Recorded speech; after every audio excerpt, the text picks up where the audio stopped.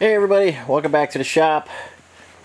Uh, I hope the lighting's okay. It's a little dark in here today. Uh, this is Lou's engine. It is on a stand. It's his M38.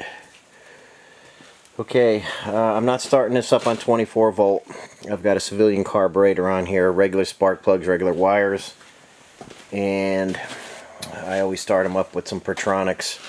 So I got the Pertronix in this brand new distributor uh, used only for startups and the um, the coil. Uh, I got the flywheel on the resurfacing machine. It needs some help. Um, clutch that was on here looks okay. Uh, this is um, I've got the exhaust on it. This is getting ready to be fired up. Uh, I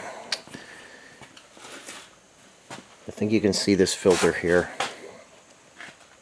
Uh, this is a filter that you'll find on some M38s. Uh, very popular on aircraft and stuff. And um, you loosen the nut, you turn the handle, and the discs in there. All the junk comes out of the discs. It goes in there, and then you can drain it. Um, so you do this every thousand miles or so. Uh, give it a couple turns clockwise, and it is a very good filtering system. But um, uh, this one I'll show you what one looks like but th this one is no good. This one was doing absolutely nothing. And I don't know how long it's been like that on the last motor but we're not gonna put this uh, junk part in a new motor. So I'm waiting. I do have another one of these on order. Uh, I did find one and uh, hopefully it'll be here in a day or two. And then we'll get this motor started up. Let's take this guy over to the bench show you what one should look like. Okay guys, there's what Lou's filter looks like. And this is what it should look like.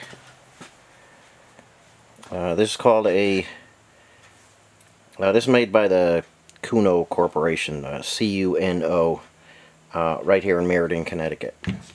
So, like I say, they're popular on aircraft. Now all his um, little discs of metal broke off from that stump there. So they're supposed to be uh, there's alternating discs. Some go out here and some are in here. And then if I can show you that when you turn it, I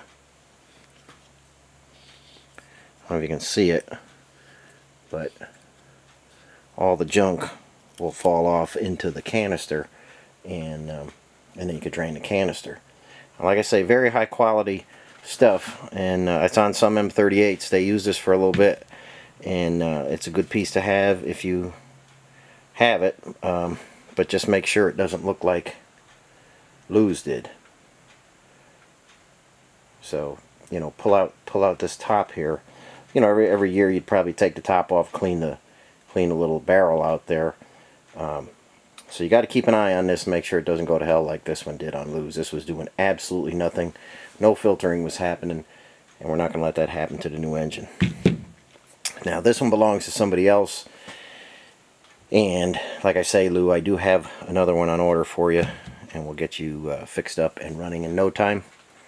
And uh, while we're on the subject of M38s, we are going to talk a little bit about the evolution of the valves and the rotators. And we'll get into that next. Let me uh, see how the lighting is and see if I get some better lighting on these. Hang in there. Okay guys. A lot of stuff going on with the M38s during the the history of their engines and stuff. Uh, there was only like 60,000 of those guys made but they did a lot of engine um, upgrades or however you want to call it. Now this is this is a standard exhaust valve uh, in an L-head engine. there's a retainer. That's a new old stock retainer. And that's what your keys look like. You got big, thick keys there. Okay, so that would go on. You'd get a key on that side and that side. Oops, hang in there. And then your spring would be on there. And that's how that guy worked okay just sat in there and that went up and down okay uh, they thought there was a need for the exhaust valve to rotate. So the next thing they did, let's get in on this guy. Next thing they did, as far as I can tell, somewhere in 52 this started happening. the valve end is different. Hope you can see that okay. Uh, the retainer is different. They put a little cap on there, like that. And that's what that was their first attempt at getting the exhaust valve to rotate. And with the cap on there, you need these very, very thin keepers. Okay? So, sometimes this stuff can be tricky to find. The caps, uh, the valves are kind of available.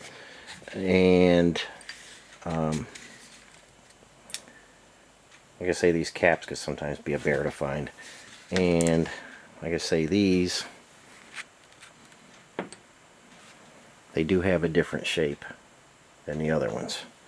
And it's necessary with the cap and the retainers.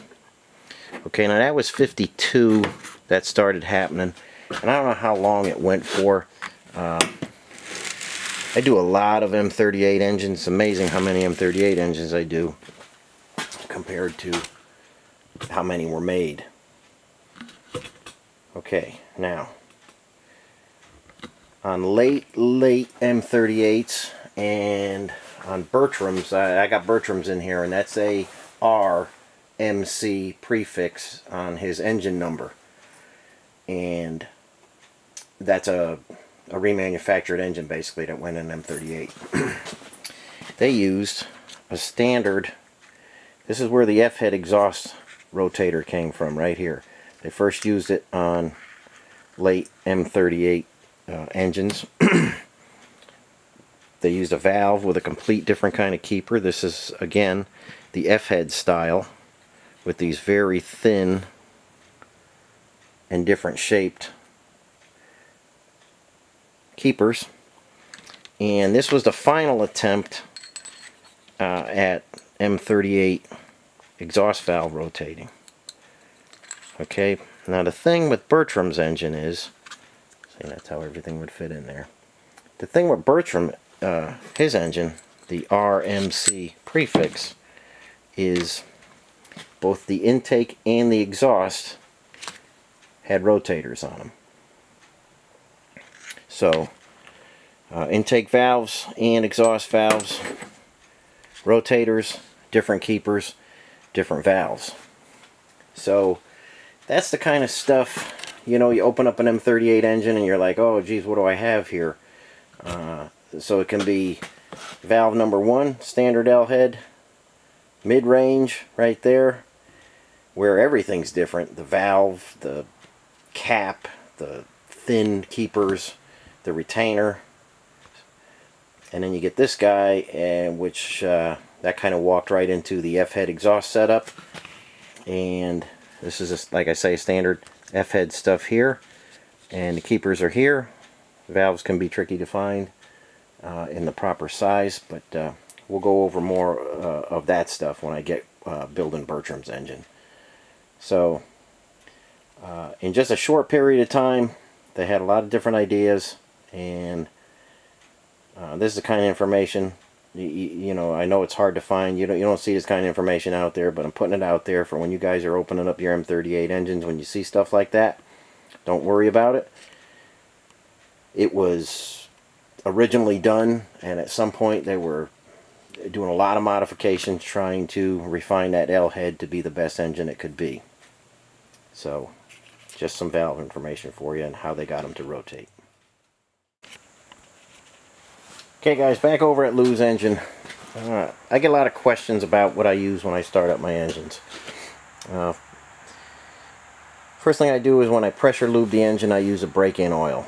It's a, a straight 30 weight break-in oil uh, it's high in zinc. Everything when I assemble this has assembly lube everywhere. It has cam lube where it needs cam lube. It has extreme pressure lube where it needs that.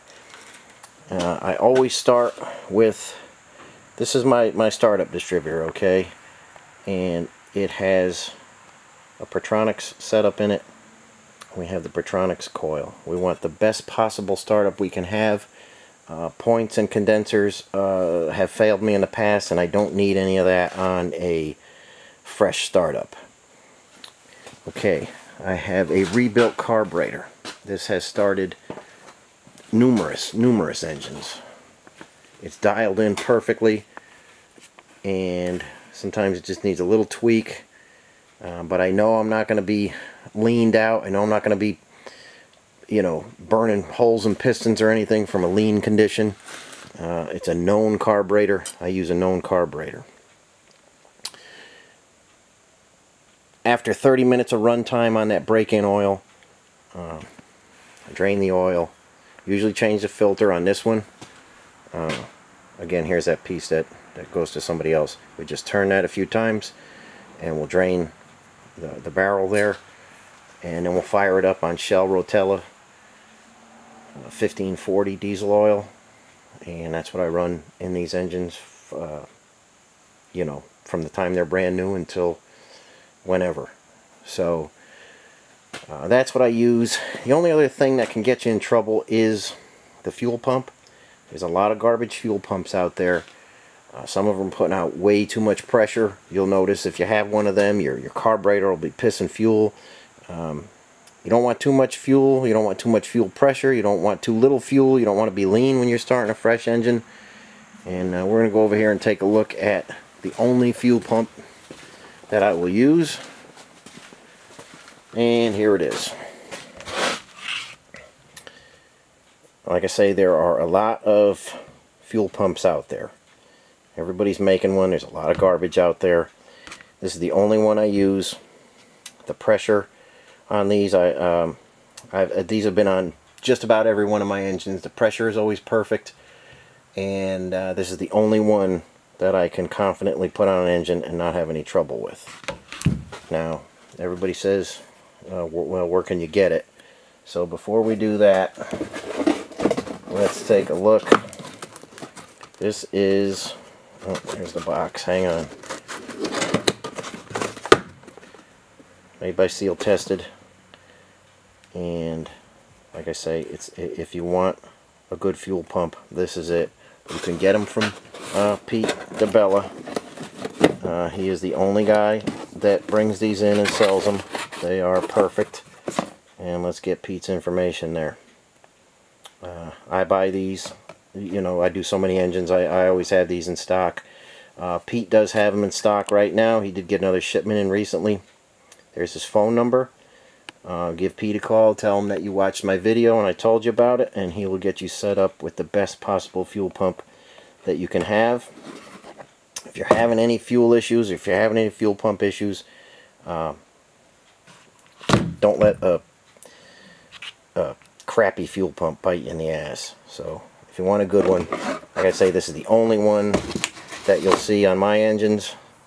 And, you know, I hope that means something to you guys. Uh, I've tried just about everything out there. I've been disappointed with everything. This is the only one I will use, and I know you'll be happy with it. So, um, Lou, we're getting there. Like I say, I was, I, I just got to get that, um, I just got to get that uh, oil filter straightened out. I got a fan on you, the belts are on, exhaust is on. I'm going to put a radiator here, get some hoses hooked up, and hopefully be this week. Uh, we'll be making smoke on this guy pretty soon. So, uh, as soon as that filter gets here, this guy is just about ready to go. We'll get it fired up and I'll show you the uh, the run-in, the oil pressure, the temperature, and uh, the break-in of this engine. So that's all I have for you today, guys. Um, I don't think there's probably a whole bunch of people interested in the M38 valve evolution, but if you are, I hope this video helped you, and uh, uh, that's what we got for you today. So catch you on the next one. Thanks for watching.